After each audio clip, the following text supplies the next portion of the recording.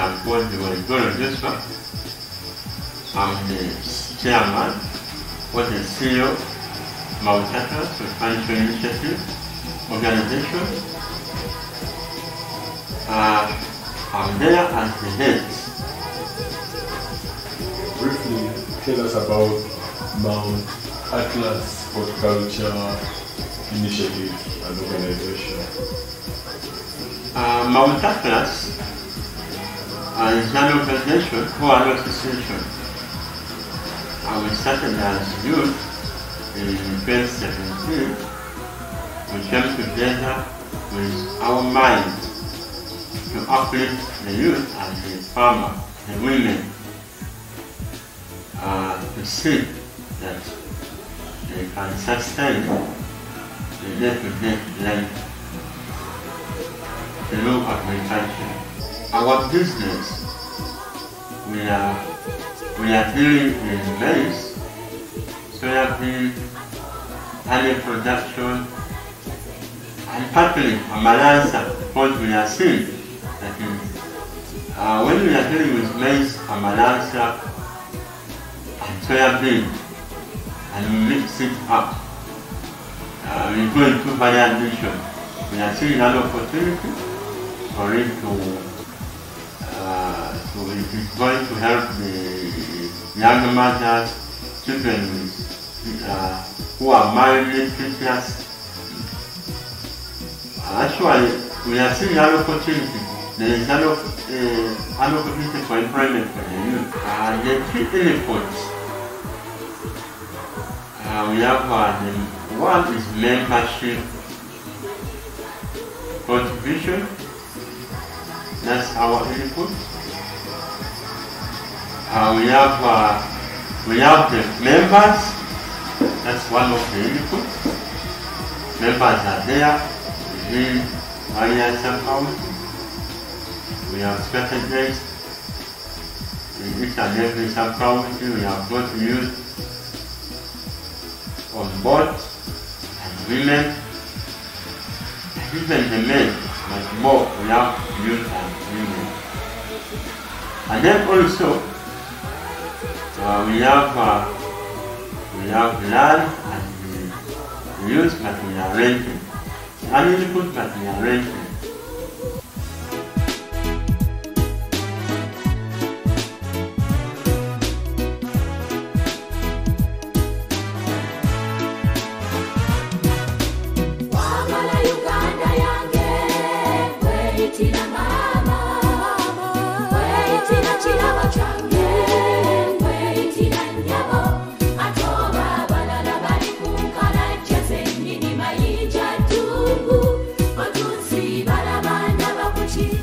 Impact for, for this for this enterprise so far, what I can say, basically on the youth, we look at uh, job creation.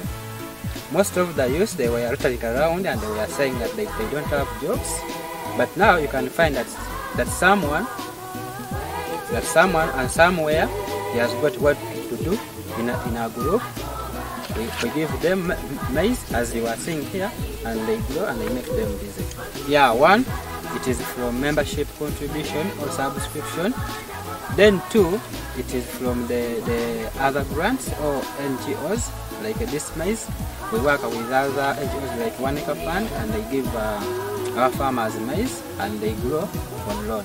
The challenges we face in accessing the, the finance, one, it, it is limited funds. Or we are limited to funds or to loans. The kind of investment we need in our enterprise, one, we need uh, funds. Then two, we need uh, like uh, on the side of agriculture, we need uh, machines which, which can be used with, with this, these farmers because now they are using this local one, local method, the hoes. So if we can get more investment towards mechanization and we go to mechanization agriculture, also towards irrigation because we need to, to, to go into seasons.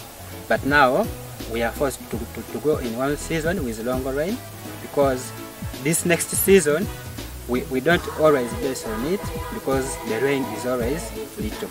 The technical assi- assistant, the project requires one is we need uh, look at the transport transport means. We need uh, transport like uh, the truck when especially these uh, these members they are done with growing their their maize to transport the products from the garden to the area where it can be kept.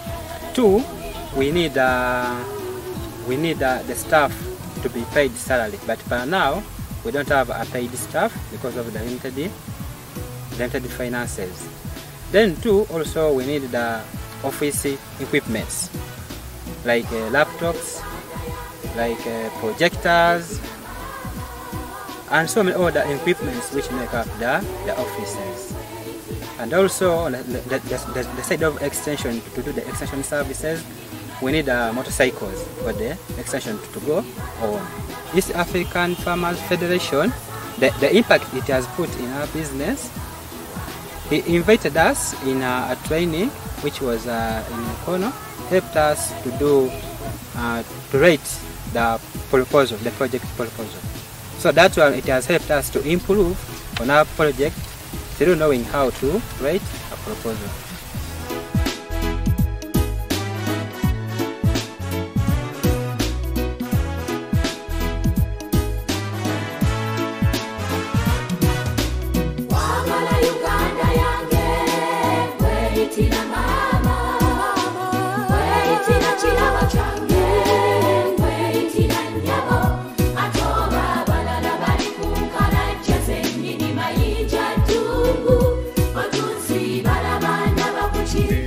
My name is Gwamiki Mathias.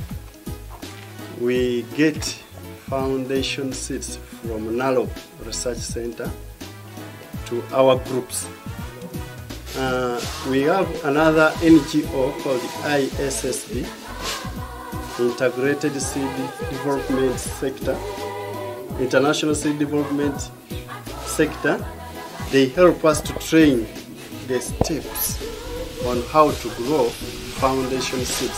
So after paying our money from the farmers to the NARO, we get foundation seeds to the center of the group. Most of the markets they have fake seeds. We are facing a biggest challenge of getting fake seeds. You grow one acre and you fail to get the production you want. The only challenge we have is other inputs needed in the garden, like fertilizers, uh, labors, and other things needed. Because now we are still growing at a small scale. We want to grow at a commercial farming. Our call to the government is to give us access for the NAL organization to come and make researches from our area to see what is needed to our environment such that their product can be favorable with the environment.